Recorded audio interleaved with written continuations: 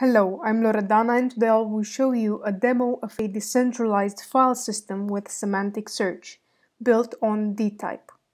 These are three Ethereum projects that I have demoed separately in the past that are now converging. dtype is a decentralized type system with a global type registry. The file system is built on top of it, and each file system item is attached to semantic concepts. The semantic concepts are provided by Seth, a decentralized ontology system also built on top of dtype. We therefore get an interlinked system that can be navigated by machines and humans. Let's start from Seth. We are looking at the computer science concept. This is the hierarchical child or hyponym of the engineering concept, which is the hyponym of discipline and so on until we get to the root of the ontology. The concepts shown below, the different types of engineering, are also hyponyms of applied science engineering. You can say that they are siblings of computer science. Next, we can see the app tools that are available for this concept, and we can have decentralized apps here or classical Web2 apps like Google Search, or Wikipedia. Next, we have all the concepts that are linked to computer science and we can also see the type of link that they have. For example, artificial intelligence is a hyponym of computer science, and data encryption is a member of the same domain as computer science. We can also see the definition for each concept. Note that we have several words to describe the concept. These words, separated by a comma, are synonyms. We are working on a private Ethereum chain at the moment. Core concept data is extracted from the chain, but there is additional data, such as the concept definitions, which is taken from another type of storage. In our prototype, we are using a decentralized database. We can navigate semantically through the concepts, and for example, we can go to the directory concept. And here we see the same semantic hierarchy. However, by integrating with Seth with dtype, we can have additional concept links between a Seth concept such as directory and a dtype type such as file type. We can also link individual dtype storage items, in our case file system directories. This is compatible with the concept of linked data in the semantic web vision. Linking is done on-chain and is therefore available to any Ethereum decentralized application. The directories are stored in the file type contract.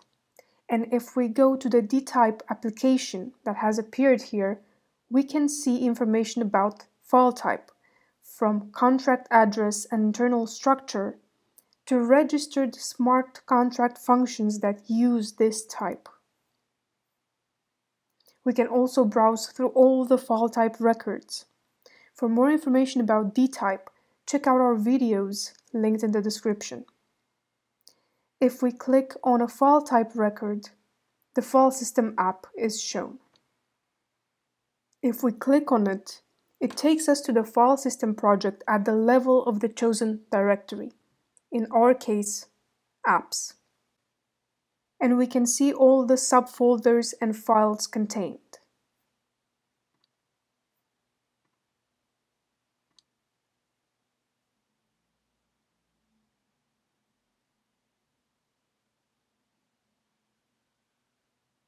File content can be stored on Swarm IPFS or a Web2 server.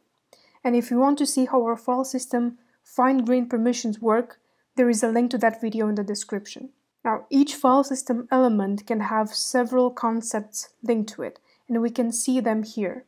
And if we click on one of them, we arrive again at Seth.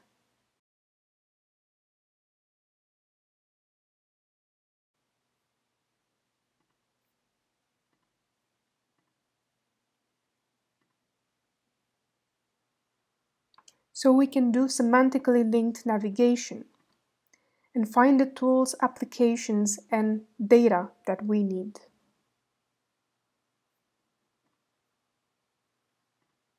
We can link any dtype type to a concept, and each type will have its own pluggable UI components and apps.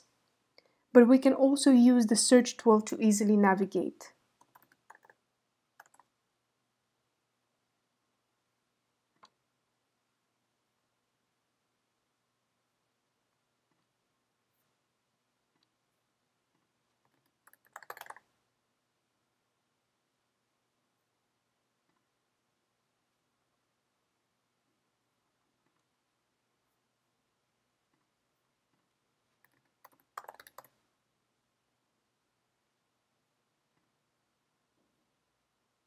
The file system example is only one example of what can be built with dtype and seth.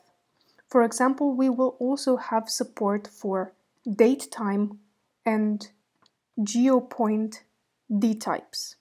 If we build and structure our projects and applications in this manner, we get a truly semantically browsable and searchable decentralized Web3 that is machine and human readable.